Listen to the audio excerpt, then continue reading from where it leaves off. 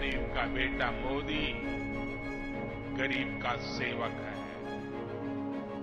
मैं जब तक देश के हर भाई बहन की गरीबी दूर नहीं कर लूँगा, चैन से नहीं बैठूँगा। सही होती है, हौसले बुलंद होते हैं तो नतीजे भी मिलते ही हैं। जब आना इतने सारे काम हुए। कोई ये कहेगा, यार, मोदी जी बहुत हो गया इतिहास में नाम हो गया, अब तो आराम करो। मेरा उनको जवाब है,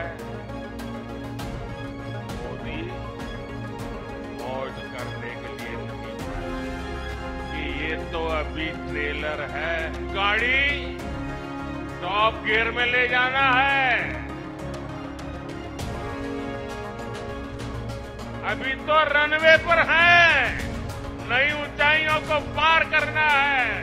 बिजली का बिल ज़ीरो हो जाए, शून्य हो जाए। देशवासी, आप इस देश के मालिक हैं। आप मुझे बताइए, क्या मोदी गैर कानूनी काम कर रहा है? क्या गारंटी देना गैर कानूनी है? क्या मैं मेरे देशवासियों को मेहनत करने की गारंटी देता हूँ? तो क्या मैं गुनाह करता हूँ? मैं मेरे देशवासियों को ये कहूँ कि मैं 24 घंटे काम करूँगा तो क्या ये गुनाह है?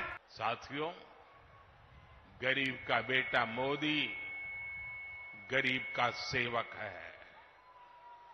मैं जब तक देश के हर भाई बहन की गरीबी दूर नहीं कर लूँगा, चैन से नहीं बैठूँगा।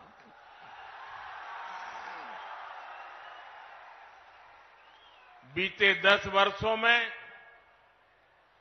गरीब कल्याण के लिए जो काम हुआ, वो आज़ादी के बाद के छह दशकों में भी नहीं हुआ था। इसी का नतीजा है कि 10 वर्षों में 25 करोड़ लोग गरीबी से बाहर आए हैं। जब नीयत सही होती है, हौसले बुलंद होते हैं तो नतीजे भी मिलते ही हैं। और साथियों, अगर मैं आपको ही पूछूँगा तो आप इस सरकार के अनगिनत काम बता देंगे। हर इलाके का लोग लोग बोलेंगे हाँ हमारे यहाँ ये हुआ। हर परिवार कहेगा हाँ हमारे यहाँ ये हुआ। दस साल में इतना काम, इतना तेज़ी से काम, पहले कभी किसी ने कल्पना नहीं की थी, उतनी तेज़ी से आज काम हो रहा है। लेकिन भाइयों बहनों आपको लगता होगा साबित सर्वे वाले कहते हैं कि भाई इस बार तो 400 पार पक्का है।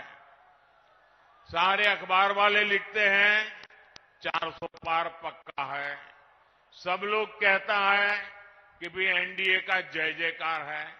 फिर लोग कहते हैं, अरे इतना सारा हो रहा है, मोदी इतनी मेहनत क्यों कर रहा है?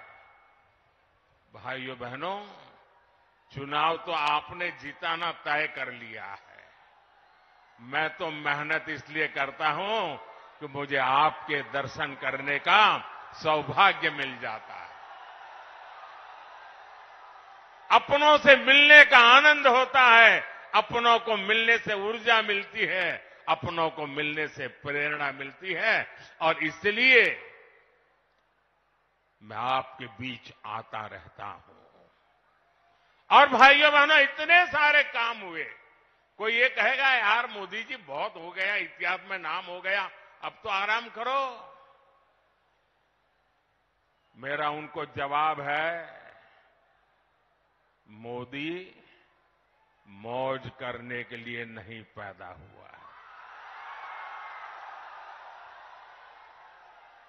मोदी मेहनत करने के लिए ही जन्मा है।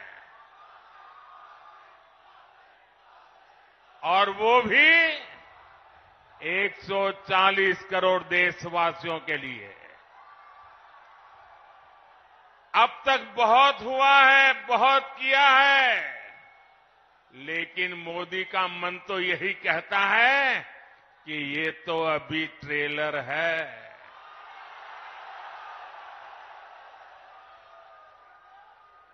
इतने से हमें रुकना नहीं है। अभी तो गाड़ी टॉप गियर में ले जाना है। अभी तो रनवे पर है। नई ऊंचाइयों को पार करना है। मोदी की गारंटी है कि गाँवों की तीन करोड़ बहनों को लखपति दीदी बनाएँगे। अब मोदी की गारंटी गाँव और गरीब परिवार की बहनों को ड्रोन पायलट बनाने की है। मोदी ने पीएम सूर्यघर मुफ़्त बिजली योजना भी शुरू की है, ताकि गरीबों का बिजली का बिल, मध्यम वर्ग का बिजली का बिल ज़ीरो हो जाए, शून्य हो जाए। लेकिन साथियों, मोदी की ये गारंटियाँ, कांग्रेस, आरजेडी वाले, इंडी गठबंधन वालों को परेशान कर रही है। उनको पसंद नहीं आ रही है।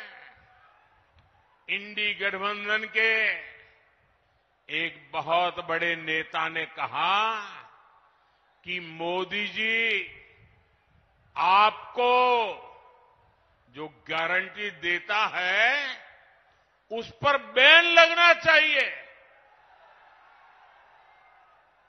अरे, इतने डर गए हो क्या? अरे, मोदी की गारंटी से घबरा रहे हो क्या? ये लोग कहते हैं कानून को जानकर कह रहे हैं कि मोदी का गारंटी देना ही गैर कानूनी है। मेरे देशवासी, आप ही देश के मालिक हैं। आप मुझे बताइए, क्या मोदी गैर कानूनी काम कर रहा है? क्या गारंटी देना गैर कानूनी है? क्या मैं मेरे देशवासियों को मेहनत करने की गारंटी देता हूँ? तो क्या मैं गुना करता हूँ? मैं मेरे देशवासियों को यह कहूँ कि मैं 24 घंटे काम करूँगा तो क्या ये गुना है? मोदी गारंटी देता है, उसको भी उन्होंने गुना बना दिया। अरे भाई, मोदी गारंटी इसलिए देता है क्योंकि उसके पास गारंटी पूरी करने का मादा है।